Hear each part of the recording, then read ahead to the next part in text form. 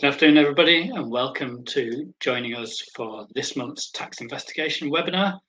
Myself, Dave Jennings, ex-HMRC, 30 years experience on both sides of the fence, and Dane Skeeber, also ex-HMRC, a bit, uh, bit younger than, than, than me, and we're, we're presenting again our, our monthly um, catch-up with uh, what's going on in the world of investigations. This month, we've decided to give an update on some recent tax cases, first tier and upper tier tribunal. So we will give you some information about those cases which are of interest in the work that we do and the work that you might also be doing. Or um, if you have uh, friends, relatives, anybody involved in, in similar sort of issues, then do, do take uh, professional advice. So without uh, further ado, let's um, open these slides up. Quick intro, Churchill Tax, we are a full service firm. We provide accounting um, and, and tax services, some specialist tax services around some tax planning, particularly private properties, um, inheritance trusts, um, and uh, offshore uh, planning. So today we're going to cover some recent tax cases around um, offshore CGT and acquisition of a Swiss property, um, information notices, we see quite a few of those, and don't forget they can be appealed. Um, Dane's talking about an interesting case, which was around VAT and when does when does non-payment uh, become dishonest, uh, and I will finish off with a, a procedural one, really, and a, and a, slight anomaly, strange case where the revenue tried to get the appeal struck out. So if Dane is going to start us on the uh, on the first tax case here, thank you.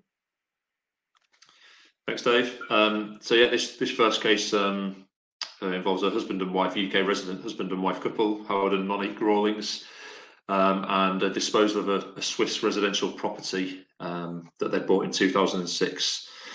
Now they'd taken out a foreign currency mortgage on the property, and when it came to selling it, the way they had calculated it differed from the kind of the rules set out in legislation, which ended up with quite a significant discrepancy in the gain that HMRC had calculated.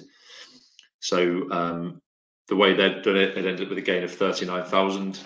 When HMRC did it, uh, they'd opened an inquiry within time, they'd looked at it, and they'd calculated a gain of 267,000 uh, to be split between the two individuals. The, the, the, reason for the massive difference is purely down to um, the, the volatility or the change in interest rates between those two periods. Um, as the individuals had taken out a, a, foreign currency mortgage, they had only accounted for the acquisition costs in 2006 for the deposit that they put down, rather than the full acquisition value of the property. Um, and when it came to to disposing of the property and, and repaying that mortgage, that essentially was was translated at the exchange rate at the point of disposal um, which ended up with this this huge uh, discrepancy. Like I say, it was um, over two hundred thousand pounds in, in, in the gain alone.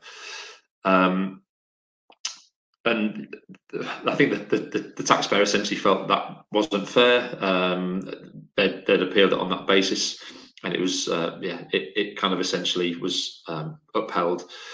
The, the principle being there that you have to kind of convert into sterling at each transactional point. So the value of the acquisition um, at the point of acquisition. If there was any enhancement expenditure throughout the period of ownership, you would convert that at the um, at those relevant points whenever the expenditure was incurred. A um, couple of other kind of points just to kind of ha- have in the back of our mind there is foreign tax credit relief. So see if this property was subject to tax in Switzerland um, or wherever the, the gain may have occurred, there is relief available for that, that tax. There's a, a calculation to do there, which kind of certain restricts it in certain times, but certainly you do get relief for that. Um, and this is kind of a relevant one that we see in quite a lot of our um, disclosures that we make to HMRC. Um, a lot of our clients have received nudge letters for offshore property income and disposals. Um, so this is certainly one that it's important to, to kind of get it right. There, there, there was another interesting, well, say interesting. There was another point within this case where HMRC had initially um, raised the assessments and, and applied the wrong rates of tax they applied a 10 and 20% CG rates rather than the 18 or 28%, which is uh, applicable to residential properties. So that was a kind of a mistake on HMRC's part, but it was it was picked up during a review and um, and, corrected. but just goes to show that there are a, a fair few elements to, to get right when making these disclosures. Thanks, thank, thank, thank, you, Dane. Yeah, it was an interesting case, and so we've we've seen quite a few where um, people have maybe uh, calculated the capital gain um, using the offshore currency rates and then converting the gain into into sterling. Um, obviously, if the currency has moved up and down, then you may win or lose um, on the on, on the correct way of working out. It does have to be the exchange rates at acquisition and at disposal. You don't you don't do the gain in in the foreign currency. You do the gain in in sterling um, conversions throughout. As, as, Dane also mentioned, obviously that applies to any costs in, in between as well. Would be uh, exchanged to sterling at the time you incur the cost, and then they come off the calculations. It's um, a, a simple error that some people do make, and just need to watch out for. So again, another area we see a lot of is information notices. And there, there are grounds for appeal against information notices. You can't uh, appeal against statutory records, and then there's sometimes arguments over what are statutory records. You can appeal if the request is for old records, if it's more than six years old, and, and they, they can, uh, the, the, revenue don't necessarily have the right to obtain those. Um, but also the other argument um, of, of, an appeal is whether they're actually reasonably required for the uh, for HMRC as part of their inquiry work. And in this case, it was involving quite a complex argument over transfer of assets abroad or settlements legislation, the revenue want one or the other. Um, that issue is subject to an underlying tax uh, appeal which is heading to the tribunal itself, and the revenue have already issued, therefore, assessments which are under appeal. But the revenue continued to issue information notices for bank statements for the family, and they were appealed against on the grounds that not reasonably required uh, by HMRC.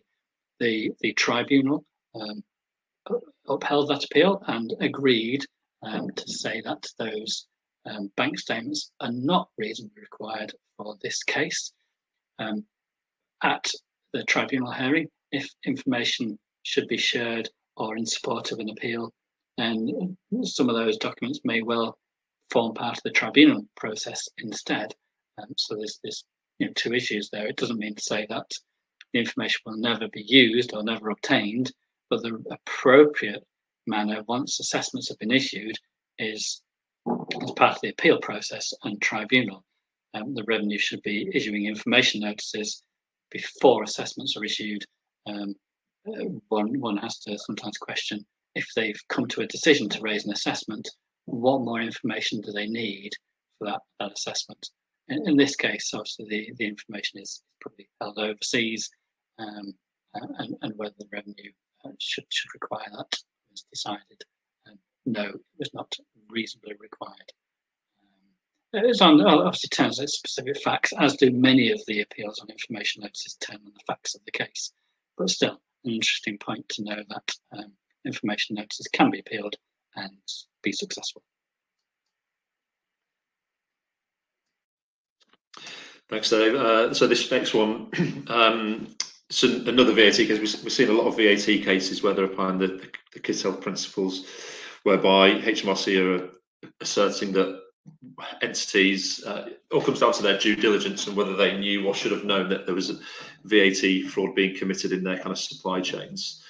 This one's slightly different because it involved um, some associated companies, but ultimately um, it led to HMRC denying uh, the right for the, the main trading entity, Grantham Ceilings, uh, input VAT of 289,000 thereabouts on the supplies made to to an associated company. Now, uh, the main trading company, um, Grantham Ceilings, they supply building and construction services, and they set up a holding company to ring fence contracts with employees and subcontractors, kind of a, a non-tax related kind of uh, reason. Um, the holding company charged management fee to the trading company to Grantham Ceilings, um, which was a taxable supply for VAT.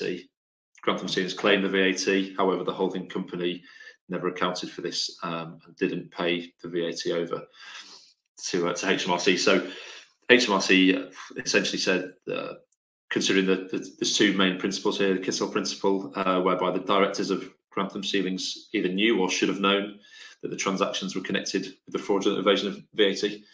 And this one, it's a bit easier for them to kind of say that because um, obviously there's a, a, shared ownership between them. So the directors uh, of, of, both companies should have um, understood that it was being reported in one and not in the other. The Fini uh, principle is that they'd exercised, Grantham Ceilings had exercised their right to deduct for fraudulent or abusive ends. Um, GC contested this, um, that they, they didn't act deliberately, and ultimately the reason for this was um, due to commercial issues, um, commercial pressures, some cash flow problems that they'd faced, um, and it was nothing to do with deliberate behaviour. Now, the, I suppose the key point to take away from this, um, so, so the, the, decision to de, yeah, to deny the input for VAT was upheld. Um, one one of the kind of the phrases that was mentioned quite a lot in the decision is um, having a kind of a time to pay arrangement with HMRC or a payment plan in place. The key, the kind of key thing to take away here is that had the company spoken to HMRC, had they had that open dialogue early on about the issues they were facing, um, and payment plans could have been negotiated or, or arranged, that would have gone quite a way for them, showing that they weren't acting deliberately. Um, but ultimately, the fact that they had failed to even contact HMRC when it was clear that one entity was claiming it and the other wasn't. Um, they had they had plenty of opportunity to do that, and they and they never did, and that ultimately um, led to, to HMRC denying that input VAT on uh, on Grantham ceilings. Yeah, key point away it, we, we deal with payment plans all of the time, but it's it's really it, it's so much easier to to have that open dialogue early with HMRC and, and obviously prevent some of these decisions being made. Yep. Yeah, thank you, Dan. Yeah, good good point. Um, certainly, if you if you facing debt problems with HMRC, it's best to uh, to to approach them before due dates, um, if possible, and agree payment plans. Um, can can avoid further problems down down the road. We'll come to our final case now, which is also another VAT case and a similar scenario, in fact, where there'd been um, loss of VAT, fraudulent evasion of VAT within uh, within the uh, supply chain. Um, the particular appellant um, had, had, had, was arguing against um, the imposition against against them from from HMRC, and, and arguing that they didn't know um, that the fraud had happened within the chain, and um, that they had taken sufficient due diligence, um, etc. the revenue had argued at the first tier that the case should be struck out um, and there shouldn't be an appeal. The, the first tier disagreed with that and said no, the appeal should should continue. The revenue were arguing to basically to say that there, there was no defence, there was no grounds for appeal, and therefore the the appeal should just be struck out and never heard.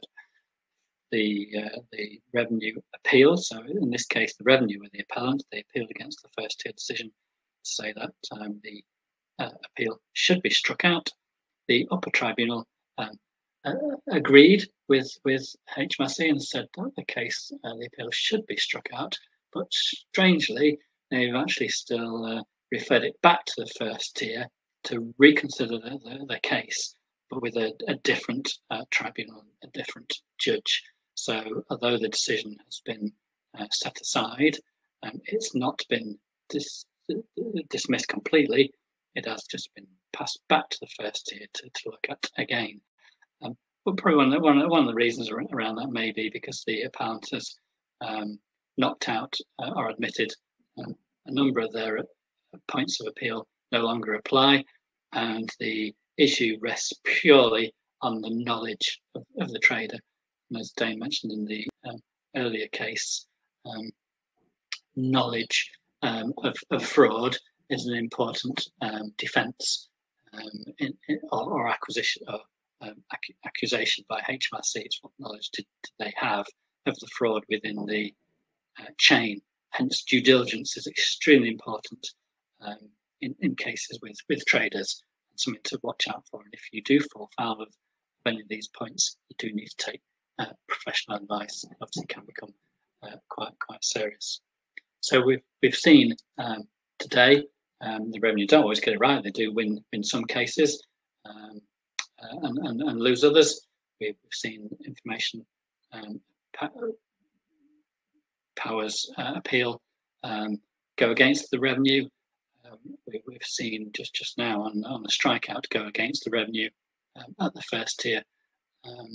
So do do keep an eye on on issues uh, and, and take uh, specialist advice where you've got formal determinations, assessments, notices, um, in case there are rights to appeal and, and, chances to take it further. If, if you want um, help and advice, do contact us at Churchill Tax Advisers. Details are on the, are on the slides. Myself and Dane, or contact our um, office in London. So thank you very much for joining us um, again uh, today. We will be back um, next month with another um, investigations webinar. Do join our colleague um, Jamal in, in, a couple of weeks for the his, his tax advisory tax planning webinar updates as well. Do make sure you signed up. Um, you can watch this recording um, in your own time, or you may be watching the recording now. There are other recordings available on our channel. Thank you for watching. Thank you for joining. Bye. Thank you. Cheers. Bye.